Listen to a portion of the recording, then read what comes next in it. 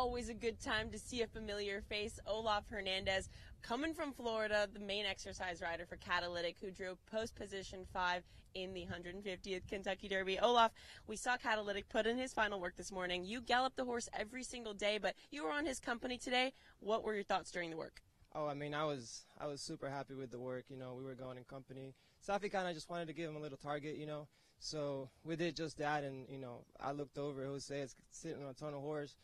He gave him that smooch, and he just took off from there. You know, so I was I was I was pretty ecstatic with it. So you were on the inside, and your job was basically just to be something for Catalytic to focus on. Yeah, yeah. That like I said, Saffie just wanted to give him a little, you know, something to chase, get his mind right, you know, focus, and you know, the work went pretty good, just like we planned it. How is he to gallop in the mornings? Oh, he's he's he's a super cool horse. I mean, like I told you earlier, like you know, a five-year-old could probably get on him and be just fine. So, yeah, he's he's a pro. You know, he doesn't care about the crowd. He just does whatever we ask him to, and you know, we couldn't be you know more proud of him.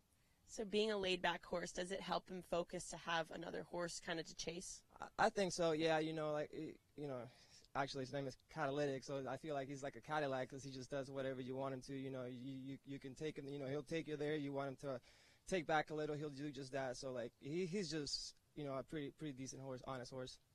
Now you've been getting on him for quite some time now. How much has he changed in the last couple weeks? He's actually grown up quite a bit. Like before in Florida, he was a bit unexperienced in that race in Tampa. He got a a little worked up, you know, in in the paddock, and then he missed the break. So coming onto the Florida Derby, he was still doing some growing. You know, he ran a pretty good race for us. Obviously, Fierceness was the the horse to beat, and uh, coming here, he he just loves it. He loves the grounds. He loves the weather. He loves everything. You know, he.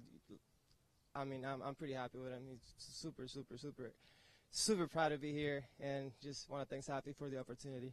Olaf, thank you so much. Keep up the great work, and we are so looking forward to seeing Catalytic next Saturday. Thank you so much, Sandy. Team Palm.